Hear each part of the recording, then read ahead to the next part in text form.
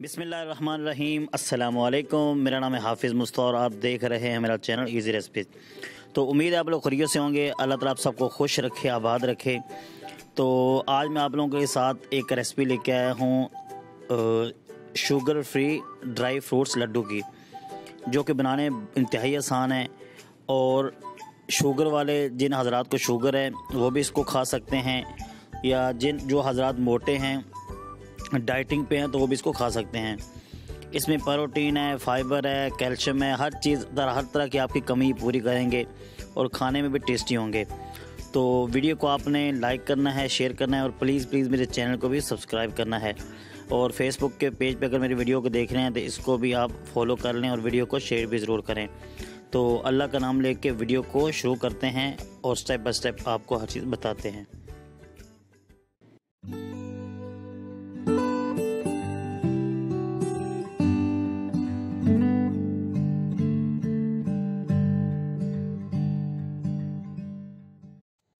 एक पैन या कोई भी बर्तन उसको चला लेंगे चूल्हे पे। मैंने यहाँ पे 50 ग्राम मक्खन इस्तेमाल किया है। आप देसी घी भी इस्तेमाल कर सकते हैं।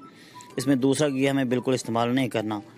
आप मक्खन भी इस्तेमाल कर सकते हैं और देसी घी भी इस्तेमाल कर सकते हैं। पचास ग्राम मैंने यहाँ पर डाला है। तो जैसे ये मेल्ट हो जाएगा तो हम इसके अंदर डालेंगे अखरोट। अखरोट में इसके अंदर डेढ़ कप अखरोट इस्तेमाल करूँगा। जो मैंने कप इस पकड़ा हुआ है, ये कप हाफ़ कप है तो ये मैं तीन डालूँगा। तो इससे क्या बन जाएगा? डेढ़ कप बन जाएगा ये। डेढ़ कप अखरोट डालना है आपने और हाफ़ कप मैं डालूँगा इसके अंदर काजू। ये देख लें आप। हाफ़ कप इसके अंदर मैं डालूँगा काजू और हाफ़ कप मैं डालूँगा इसके अंदर बादाम। और हाफ़ कप कप का आधा, यानी कप का चौथाई हिस्सा इसके अंदर डालूँगा मैं पिस्ता। पिस्ता मैं डालूँगा इसके अंदर कप का चौथाई हिस्सा। तो ये चीज़ें हैं, इनको हमने डाल लेना है, डाल के डाल के इनको अच्छी तरह भून लेना है। बिल्कुल हल्की आग के ऊपर भूनना है, आग हमारी तेज़ नहीं होनी चाहिए।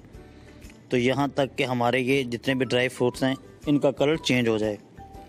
जैसे ही कलर चेंज हो जाएगा तो इनको आपने एक बर्तन में अलहदा निकाल लेना है।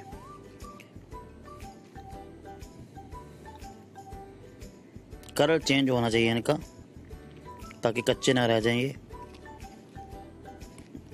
अभी दोबारा उसी बर्तन को या उसी फ्राई पैन को दोबारा चूल्हे के ऊपर रखेंगे। इसमें किशमिश डालूँगा मैं हाफ़ कप। किशमिश आप कोई भी ले सकते हैं, गोल्डन ले सकते हैं या आम ले सकते हैं, इसको भी थोड़ा सा भून लेंगे। आग को आपने तेज़ नहीं रखना, आपको बिल्कुल आपने हल्का रखना है। तो इसी जो बचा खुचा घी या मक्खन है, इसी के अंदर इसको थोड़ा सा भून लें आप। दो से तीन मिनट बिल्कुल हल्की आग के ऊपर। तो प्लीज़ प्लीज़ चैनल को ज़रूर सब्सक्राइब कर लें। प्लीज़ तो अभी हमने इनको भी भून लेना है। भून के इसको भी उन्हीं ड्राई फ्रूट्स के साथ डाल देंगे उसी बर्तन के अंदर। इनको भी इधर डाल दिया हमने। अभी दोबारा अभी दोबारा इसी बर्तन के अंदर मैं कुछ नहीं डालूँगा। थोड़ा सा बटर यूज़ करूँगा इसके अंदर, ज़्यादा नहीं डालना।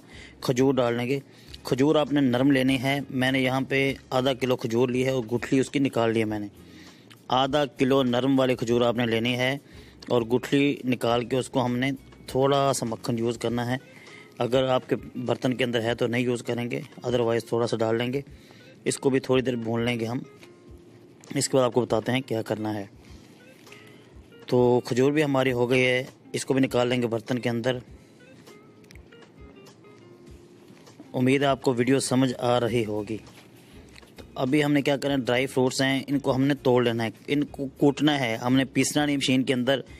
आप किसी कपड़े में डाल के, किसी डंडे के साथ या किसी भी चीज़ के साथ इनको कूटना है हल्का हल्का।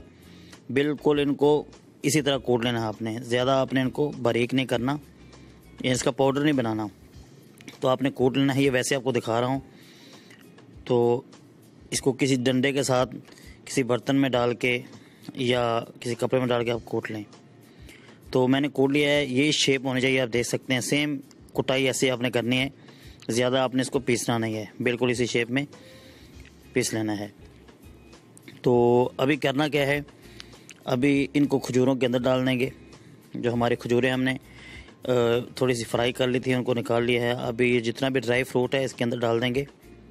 और सबसे पहले हम इसके अंदर अभी डालेंगे एक चम्मच इलायची। एक चम्मच इलायची का पाउडर डालेंगे, खाने वाला चम्मच और ड्राई फ्रूट्स भी इसके अंदर डाल देंगे। तो आप देख सकते हैं, इसमें हमने शुगर बिल्कुल इस्तेमाल नहीं की। डेट्स उस खजूर के अंदर नेचुरल शुगर होती है, कोई एक्स्ट्रा शुगर हमने इस्तेमाल नहीं की। तो शुगर वाले भी इसको आराम से खा सकते हैं।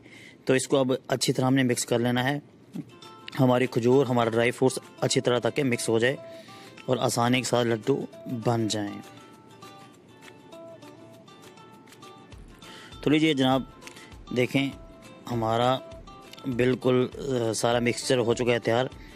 तो अभी हम इसका थोड़ा लेंगे। जिस शेप में भी आपने लड्डू बनाने हैं, बच्चों के लिए बनाने तो आप छोटे छोटे बना सकते हैं, बड़ों के लिए दरमियाने बड़े जितने भी आप साइज़ अपने हिसाब से बना सकते हैं।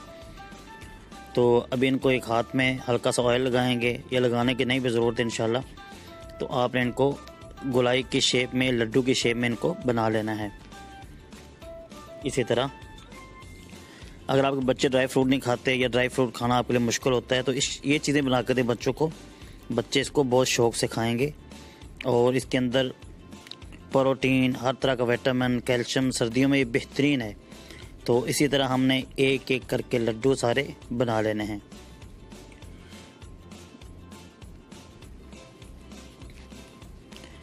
तो लीजिए जनाब, अल्हम्दुलिल्लाह अल्हम्दुलिल्लाह, हमारे लड्डू हो चुके हैं तैयार ड्राई फ्रूट्स के। हल्का सा कोकोनट मेरे पास था नारियल का पाउडर वो मैंने डाल दिया है। इसे टेस्ट भी अच्छा आएगा और थोड़े अच्छे भी लग रहे हैं। तो आप देखें, अल्हम्दुलिल्लाह अल्हम्दुलिल्लाह। माशाल्लाह, देखने में भी प्यारे लग रहे हैं और इंतहाई टेस्टी होंगे। जो शुगर वाले अफराद हैं वो भी खा सकते हैं।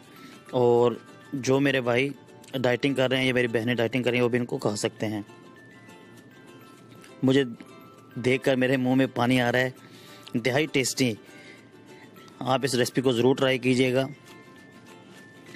तो उम्मीद है आप लोग को वीडियो पसंद आई होगी। अल्लाह ताला आप सबको खुश रखे, आबाद रखे, अल्लाह ताला सबकी परेशानियों को दूर फरमाए। अल्लाह ताला अल्लाह ताला सबको सेहत और आफियत दे। तो इसके साथ ही हाफिज़ ग़ुलाम मुस्तफ़ा को दीजिए इजाज़त।